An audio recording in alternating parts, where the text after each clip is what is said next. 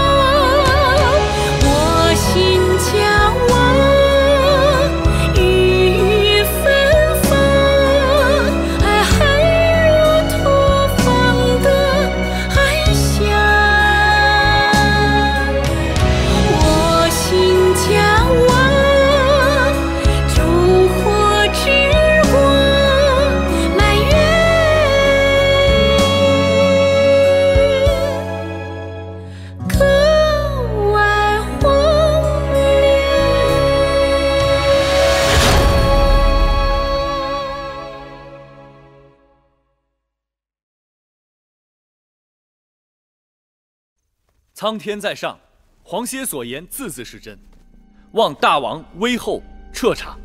你们各持一词，我怎样彻查？既然那夜明珠是在月公主的针线篮子里被发现的，而那针线篮子是月公主和舒公主做完针线由绿萝送回各自房间的，除非威后以为这夜明珠是舒公主和绿萝放进去的，不然那只能说明，在针线篮子交到绿萝手上之时，那夜明珠并没有在篮子里。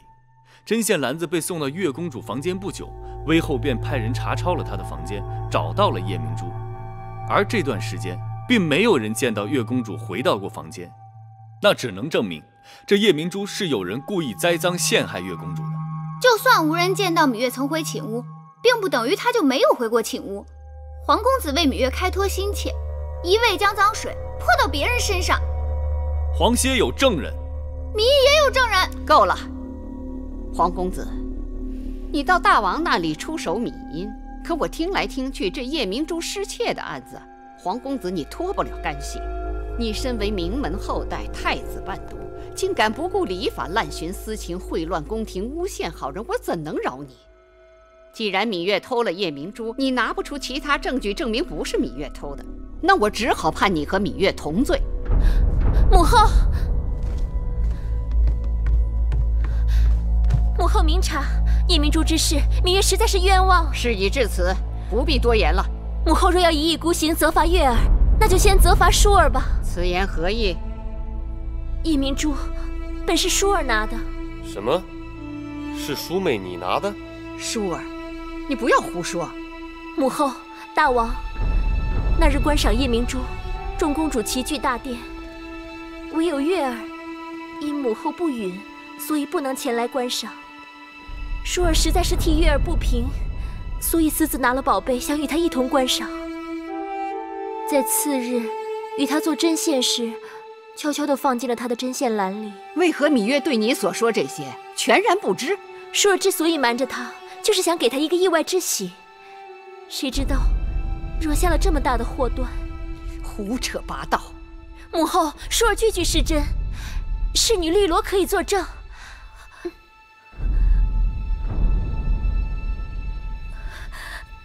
舒公主说的，的确都是实情。你们，你们，你们简直都昏了头了！事情总算是水落石出了。先前说这夜明珠是被芈月公主盗走，人赃俱获，但太子陪读黄公子又出手公主芈英，说他栽赃嫁祸芈月。可到后来，这舒公主又跑出来说众人都错了，这宝珠是他拿走的。哼，这峰回路转的，让人看得眼花缭乱。自己人听清楚原委，知道是场误会，这外人听不清楚，还当这是一场笑话呢。事情没这么简单，这夜明珠失窃的案子里定有其他内情，我一定要查个清楚。一个夜明珠弄得鸡飞狗跳，三个公主搅在是非当中，传出去，众口铄金，不知道有多少难听的闲话等着。大楚国的面子往哪儿搁呀？哎呀，算了吧，这大热天的，搞得人人都着急上火。夜明珠，臣妾不要了，就当是孝敬母后。依臣妾看，此事也不必再追究下去，和气致祥嘛。嗯，爱妃说得好，和气致祥。母后，依寡人之见。此事就此作罢吧。谢谢舒姐姐救我，玉儿此生无以回报。你我说这话就生分了。只要你平安无事就好。可我就是不明白，我在宫中无权无势，并不招惹是非，怎么就成了有些人的眼中钉了？为何要处心积虑来害我？在那种情形下。母后肯定是真假难辨，气急之下听了小人之言，才险些酿成大错。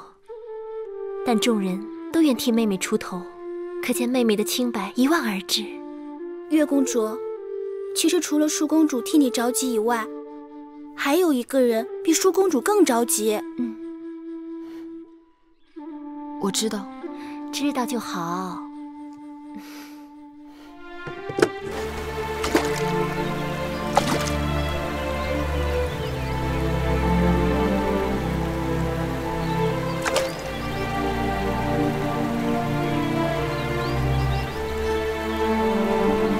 又让你为我担心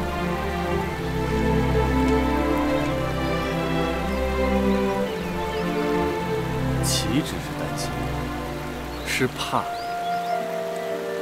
我知道你被冤枉陷害，我怕我不能救你，不能为你遮风避雨。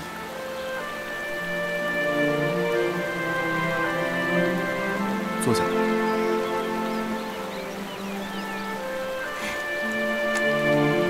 这不是好好的吗？好好的，差点脚都没了。是啊，我若是没了双脚，如何洗衣做饭？如何照顾两个弟弟？还不如死了痛快，免得拖累他人。这是什么话？你若没了双脚，我替你洗衣做饭，我帮你照顾弟弟。且不说没了双脚，退一万步，仅仅脸上一个“道”字，就会吓跑所有人。那就让他们退避三舍，我在这里陪你。不嫌弃我丑劣不堪？无论何时何地，何种情景，你在我心里都是貌美如花。我哪有那么好？你的好只有我知道。我黄歇不求荣华富贵，只求你我心意相通。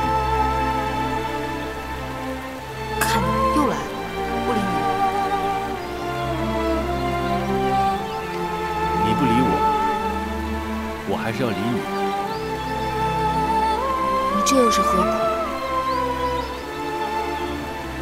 命吧。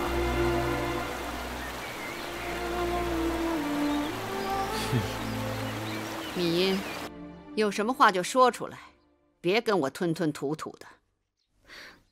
那日黄歇诬告婴儿，婴儿的确委屈。那日事情真相如何，你我都该心里有数。算了，我也不打算追究了，只是希望你今后做事不要再自作聪明。母后说的是。嫣儿，你过来。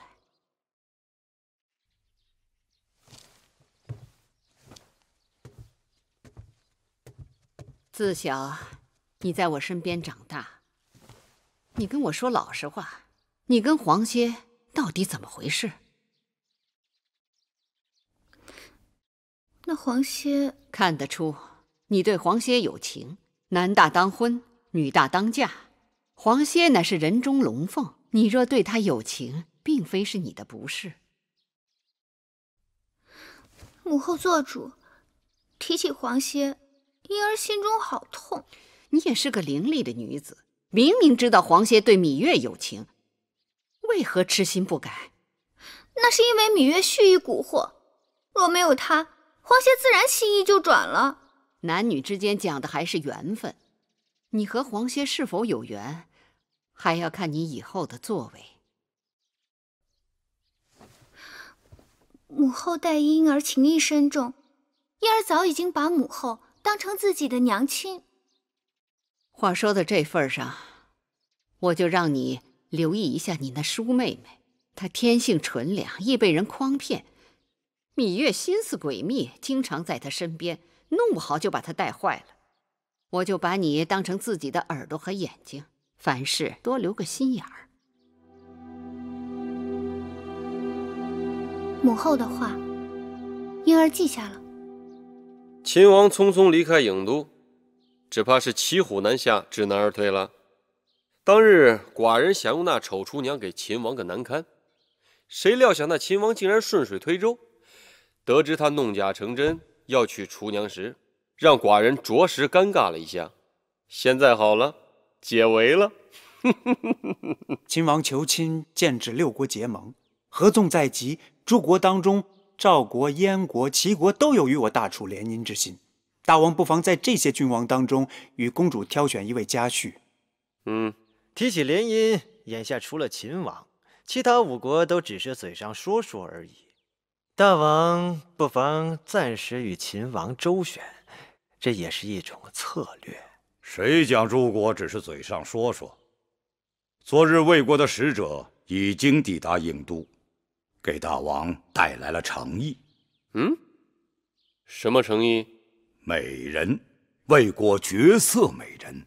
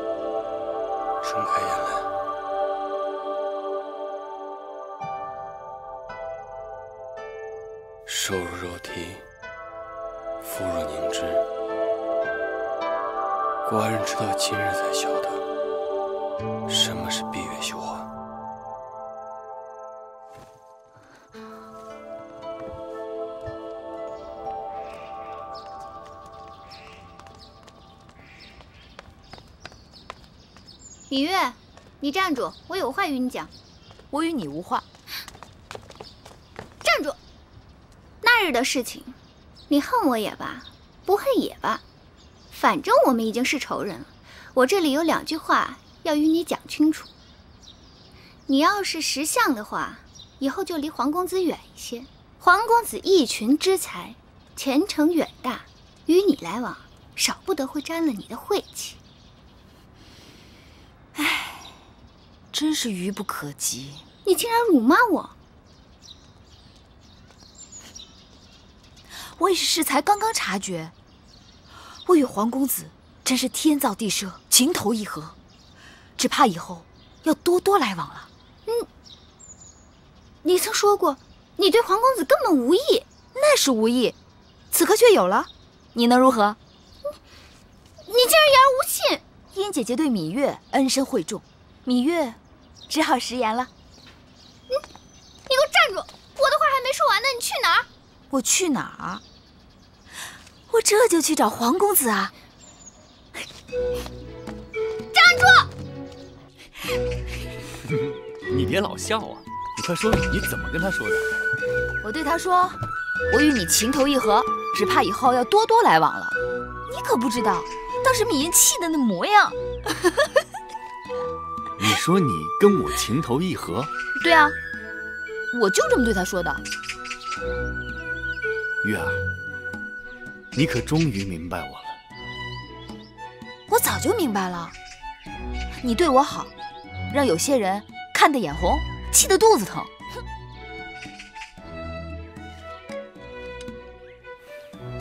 看来你还是不明白我，我对你的一片……好了好了，好了，我知道了。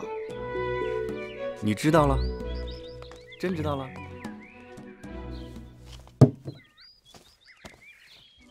说说，你知道什么了？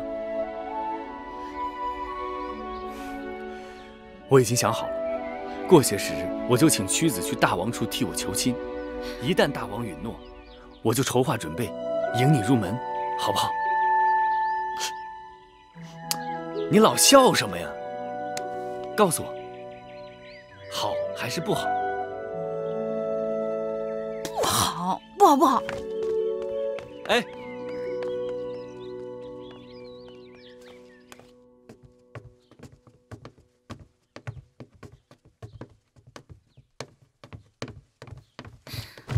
拜见母后。哟，这是怎么了？禀报母后，婴儿要告发奸佞之人。出什么事了？起来，慢慢说。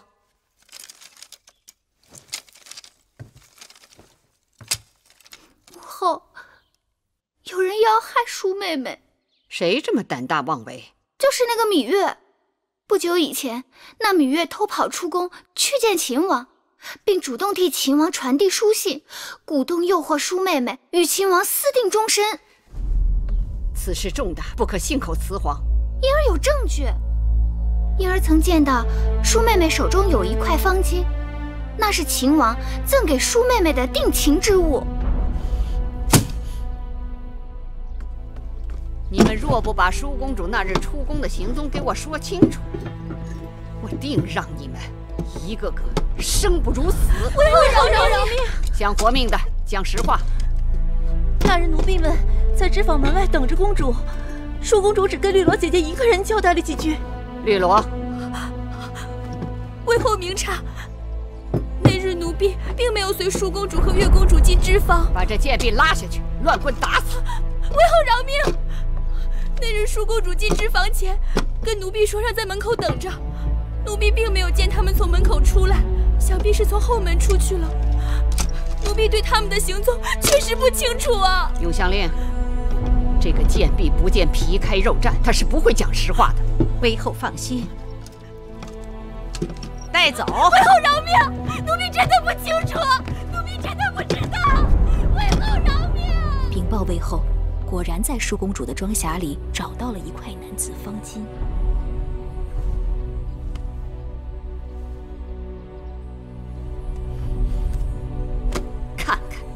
你们做的好事，让我颜面全无。母后息怒。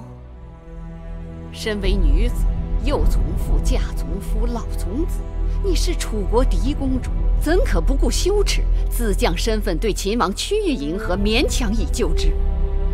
自小我就把你当做掌上明珠，锦衣玉食，指望有一日你能嫁个好夫君。你倒好。自甘堕落，自入沟渠，真是气死我了！魏后错怪舒姐姐了。那秦王有情有义，那日舒姐姐出宫碰上越人行凶，若不是秦王拔剑相助，就几乎丢了性命。姐姐对他也只是倾慕而已，并无苟且之事。芈月，你给我放规矩点！我还没找你算账呢，你就猴急着跳了出来。舒儿向来循规蹈矩，对我的话言听计从。这事儿要没有你这个贱人在中间作怪，他绝不会一意孤行误入歧途。母后明察，此事与月妹妹并无干系。我心里明镜似的。芈月年纪虽小，但她卑劣龌龊、寡廉鲜耻，不是她的挑唆。你怎敢与秦王私定终身？母后该知道，秦王已向大王请婚联姻，要迎娶舒儿，也得到了大王的首肯。你不要一厢情愿。大王答应的只是把那个丑厨娘嫁给秦王，绝非是你。何况我也听说，那秦王得知丑厨娘的真相，已仓皇离开郢都。秦王是向嫡公主敏淑求婚，大王用厨娘顶包，此举非君子所为，君无戏言。既然大王答应要将嫡公主嫁与秦王，就应该兑现诺言。既然秦王承诺要娶嫡公主，他就一定会回郢都的。你给我闭嘴，淑儿。你何苦执迷不悟？秦王官夫伶仃，若拿他与赵侯雍相比，无论相貌人品，那是天地之别。那赵侯雍也是失了先王后的，伶仃官夫能差多远？好个芈月，你竟敢当众顶撞我！从你投胎出世就是我的克星，我一向对你宽宏大量，你却恩将仇报，这次我定饶不了你。舒姐姐与秦王你情我愿。魏后若真心疼舒姐姐，就应该成全他们。闭嘴！来人，把芈月给我拖下去，杖责二十，关起来。是。你就算打死我，我还是要说真话。放开，放开！母后，母后，你饶了月妹妹吧。母后，舒儿再也不敢了。你告饶告得太晚了。你们给我听好了，从今日起，舒公主禁足高堂台。你们要是胆敢放她出去或传递私信，当即杖毙。母后。是。此事我主意已定，由不得你。你马上回你的寝宫，面壁思过。绿萝已死在报室里了，你们两个给我过来。魏后，以后好好给我伺候舒公主。若再有纰漏，我剥了你们的皮。是。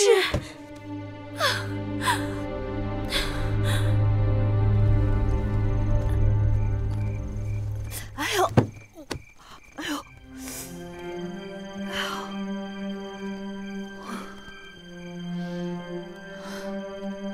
好，那我就在这住几日，看你能把我怎么样。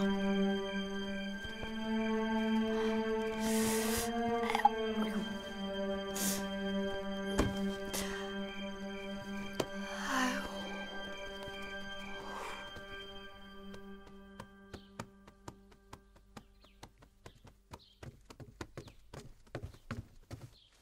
南后，晋上大夫来了。让他进来。是。晋上拜见南后。赐座。莲儿，给晋大夫烹茶去。是。大王已多日不到我这里来，晋大夫也没了人影。难不成我这宫里养了吃人的老虎？都让你们躲避三舍。南后说笑了，大王忙于国事，晋上也是四处为南后寻找这世间稀奇之物，没有能拿得出手的东西，晋上怎敢来拜见？哦，这么说，稀奇之物今日是有了。拿上来。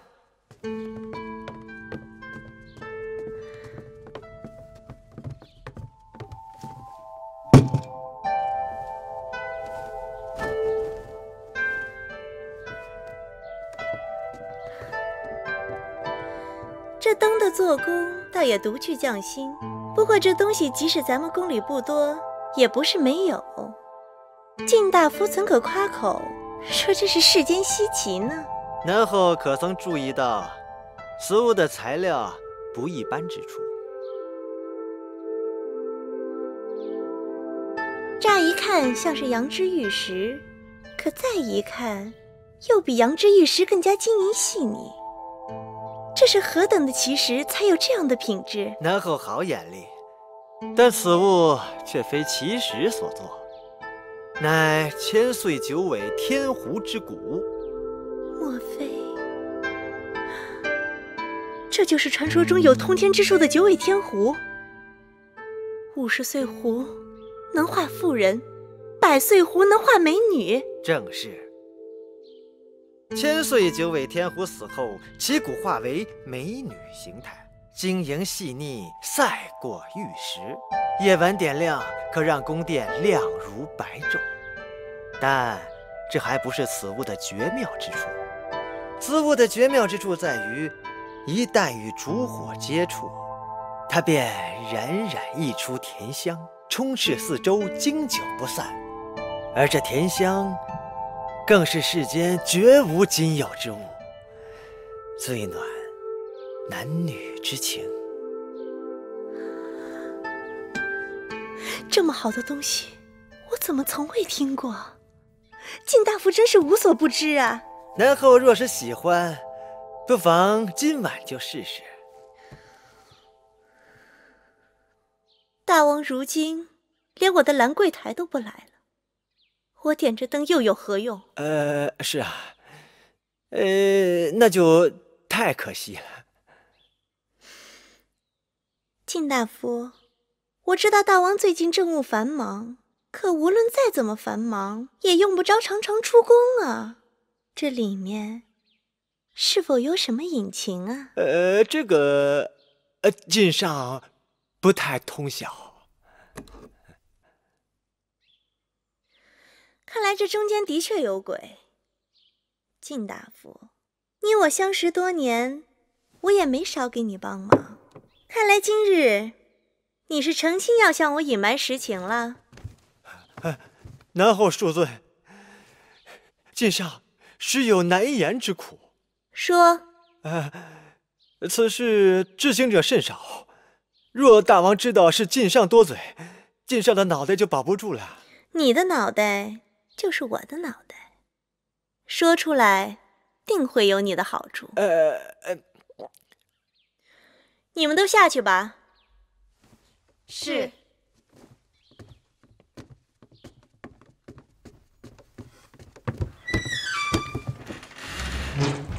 然后大王出宫不为别的，只是去了离宫章华台。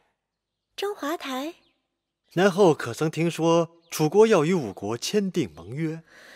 此事人人皆知。大王为五国联盟的合纵长，魏国为讨大王欢心，献上绝色美人。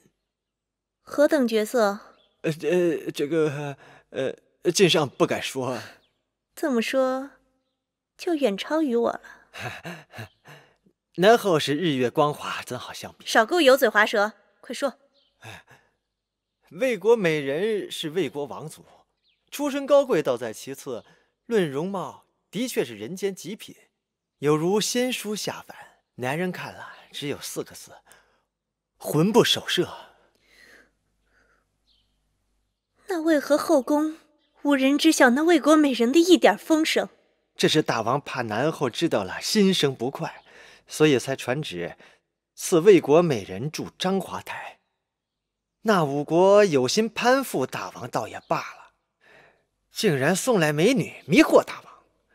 一个“合纵”二字，竟然离间了南后与大王的恩爱。微臣看着，的确是为南后鸣不平啊。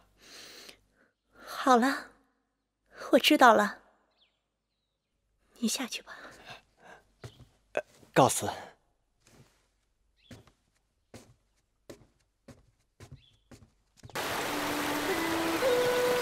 夫人，请看那里，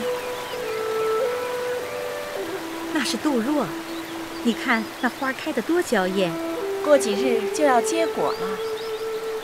魏国没有杜若，我听说他结子入豆蔻，根部是药材。能理气治痛，疏风消肿。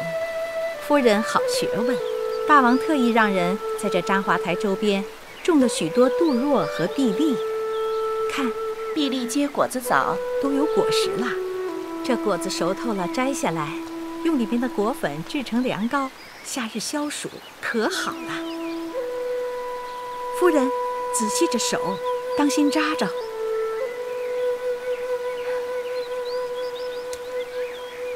夫人，请看这边，这边是蕙兰。那是紫藤。湖面上还有鸳鸯，这些都是大王叮嘱让微臣置办的。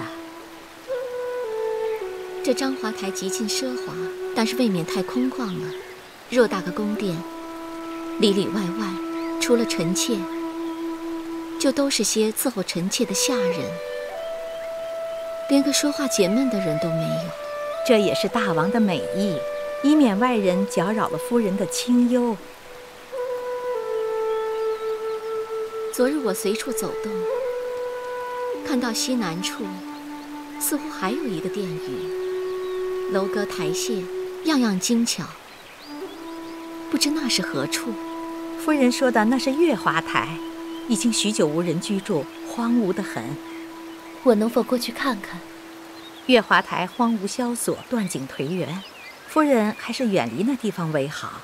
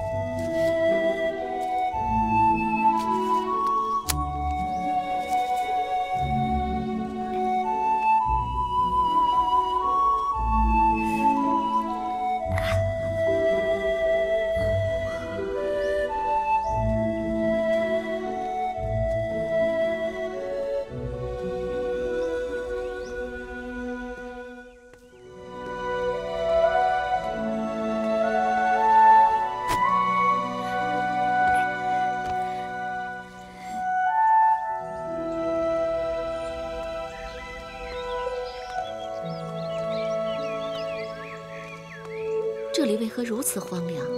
夫人，听说这月华台过去也曾歌舞不休，后来建了那张华台，这月华台也就被割荒了。宫里都是这样，喜新厌旧的。夫人，我们还是回去吧。为什么要回去？大王若是知道奴婢把夫人带到这儿来，奴婢的性命定保不住了。那你回去吧。可是，奴婢若是把夫人一个人留在这儿，大王知道了，奴婢的性命还是保不住。所以，无论怎样，都是一样的。对奴婢是一样的，对夫人是不一样的。夫人是贵人命，奴婢是贱命。殊途同归，你和我的命都不在自己手里，又有何区别？你这话让人听了真是伤心。你是谁？哎呦，我叫芈月，也算是楚国公主吧。我是魏王献给楚王的礼物，他们都叫我魏美人。哎，你站那别动。嗯。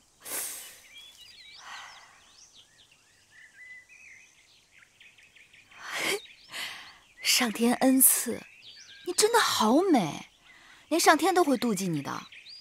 你别这么说，因为这句话，我从小到大一个朋友都没有。真的吗？嗯。说起来。我还是有朋友的，所以啊，我会妒忌你的。哎呦，你怎么了？嗯，没什么。其实，你最好还是不知道我是谁。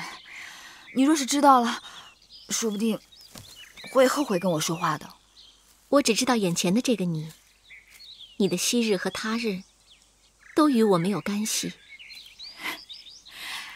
遇上你。真是我的幸运。你是不知道我的无奈，自己的命生下来就已经被别人决定了，就像夜晚的月亮，永远是从东边升起，西边落下，不可能改变。那要看你怎么想了。月亮不也有上弦和下弦，还有十五的满月吗？我又不是月亮。嗨，我只是比喻。别那么灰心，人总是有机缘的，虽没有预知，但总有相遇。就像你我这样，交个朋友吧，送给你，谢谢你。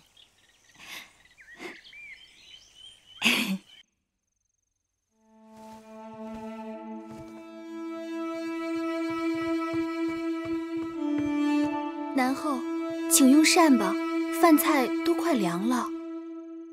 这些都是什么？啊！给我拿出去倒了。这是御厨所做上好的蒸鸡和鱼。天气炎热，大王政务繁忙，哪吃得下这些油腻之物啊？我不是跟你们说了吗？要力求清淡。然后，愣着干什么？还不快去！大王今晚还会来吗？大王为何不来呀？奴婢听说，大王去了章华台，此刻夜已深了。你再给我说一遍。奴婢说，大王，大王去了章华台。你们都知道大王去了哪儿？大王干了什么？是不是？夫人，夫人，你